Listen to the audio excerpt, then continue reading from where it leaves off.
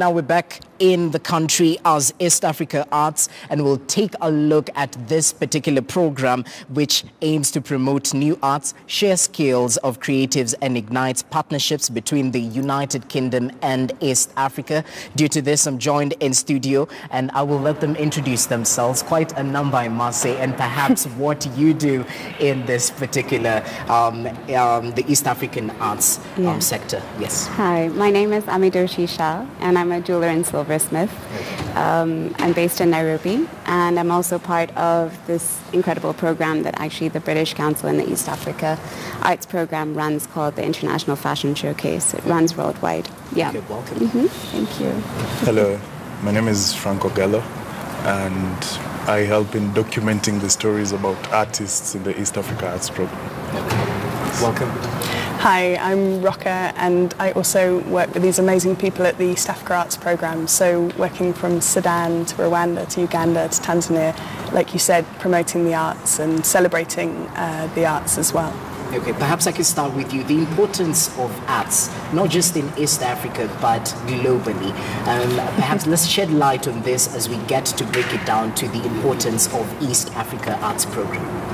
Wow, big question. Um, I guess also one I'll be completely biased about uh, because I'm in love with the arts, but I guess it for me, the arts reaches every single area from its supporting economic growth and job creation, but also to it being about a sense of pride or identity, confidence, and excitement and celebration. It can also be a place where you can work through difficult issues, maybe in a way that is, you know, literally more creative than in other kind of social economic spaces as well. So it covers everything. It really yeah. does, yes. Yeah. And perhaps to the gentleman right next to you, um, the aim is to share skills of creatives and ignite partnerships between the United Kingdom, um, in the creative sectors in the United Kingdom and East Africa as well. Let's highlight on that. Is the progress um, quite commendable? How is the, um, the anticipation or the welcoming by the local governments towards this particular policy?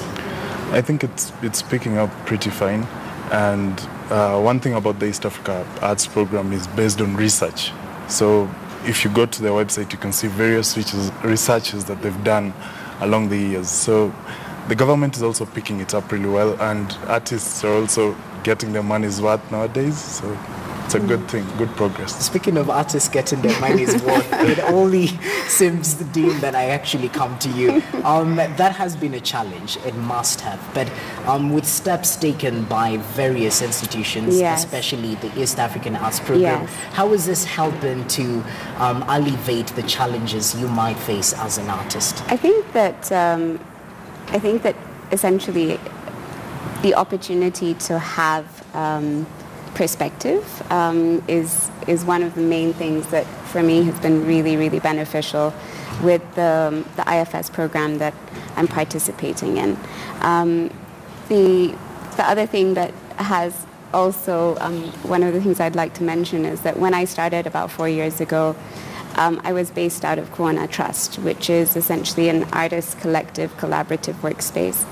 Um, and it's not the only one in Nairobi. There are multiples of them, but I think that it was from working and interacting with other artists um, that we almost created a community of sorts um, and a sense of camaraderie. And yes, I mean, I think that when you choose to pursue a creative path, I think the money doesn't always follow immediately.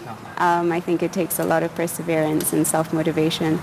Um, so and that can be sometimes challenging. But, um, but I think that with programs um, that, for example, the Nest Collective and HEVA Fund run, as well as the East African Arts, um, you almost kind of have this natural momentum to be able to kind of continue and push and progress to the next level. Well, definitely. Um, yeah. Yeah. Um, the mindset in Kenya perhaps is shifting from the old age, old age adage of having conventional careers you know, to the artistic side where actually people are encouraged to um, sensitize or to showcase their artistic side. Do you think this is a good turn, especially for Kenyans and East Africans as well?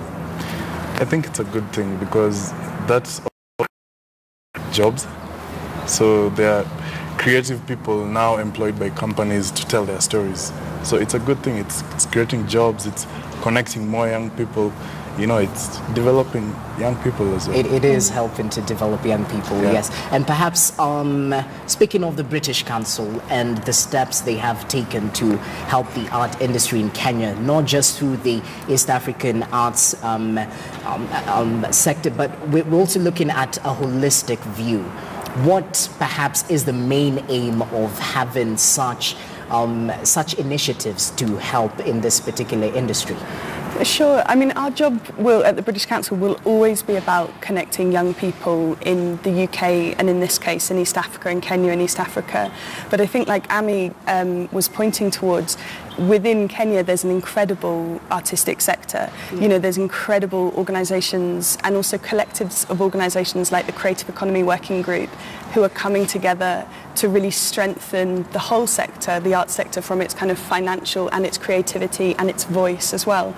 So I think as well as our agenda always being to kind of make new connections and celebrate new art that's made between cultures, we're particularly excited about what's already happening in Kenya. You know, the kind of collaborative community nature, of the way people are coming together and supporting each other mm. um, to make art, but also to see how art will really um, be of value to themselves and to the audience as well, economically, like Frank said, and also socially, yeah. and also for fun and as well. Fun. Very yeah. important, I must say.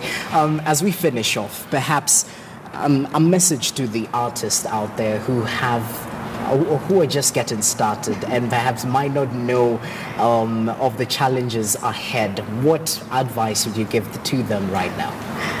I um, I think it's it's I think it's with anything, but I think that when you have the incredible opportunity to um, work through your talents and communicate things, um, it can you can sometimes be plagued with self-doubt, mm-hmm. um, second guess yourself, make mistakes. Um, but I think the important thing is just to kind of persevere through it and, and also just have, have people around you that will be able to kind of help you and push you and motivate you to, to take the next step. Um, I think the arts in Kenya particularly, are, it's really growing and it's, it's a very dynamic scene. Um, and I think some might not necessarily know how diverse and dynamic the, the art scene is and the cultural scene is in Kenya, and Nairobi particularly, but it's, it's incredible. And I think that there's, we do need to kind of work together and, and create those communities and support each other. But just keep on going. If you have a talent, just push. well, well, that's very important. Um, as we finish, very last question. The change of mindset, which is very important, is actually opening up doors for youth and older people alike. But who's eligible to actually join um, the East African arts um, and why should we actually open doors for them, you know?